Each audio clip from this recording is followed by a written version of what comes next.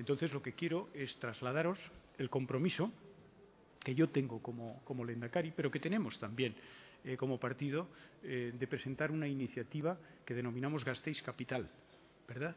Que es una iniciativa no del Lendakari, sino que es una iniciativa presentada por el Lendakari, pero para ser liderada en conjunto con el Ayuntamiento de Gasteiz, con la Diputación Foral de Álava, pero no solo entre las instituciones públicas, sino también con eh, los empresarios alaveses, con la Universidad del País Vasco, con Vital Cucha y con la Cámara de Comercio, para juntos aprovechar que Vitoria-Gasteiz es una de las diez capitales más avanzadas de Europa y, por lo tanto, utilizar a Vitoria-Gasteiz como auténtico motor político y económico de la sociedad vasca.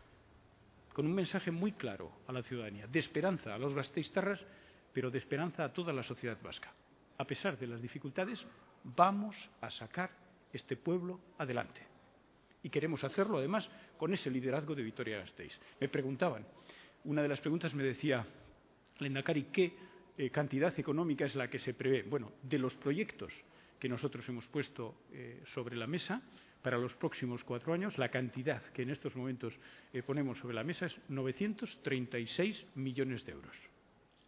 Esta es la cantidad de la que está, eh, en principio, prevista este, esta iniciativa, Gasteiz Capital, que tiene, como sabéis, diferentes acciones en diferentes áreas. Este es nuestro compromiso, repito, no es el compromiso de, del Lendakari. Eh, lo que sí es cierto es que, como Lendakari, creo que hay que transmitir esperanza. Hay que transmitir esperanza aquí en Gasteiz y hay que transmitir esperanza en Euskadi. Estamos golpeados por las noticias negativas un día y otro y otro y otro y otro pero Gasteiz es una ciudad con futuro y Euskadi es un país con futuro.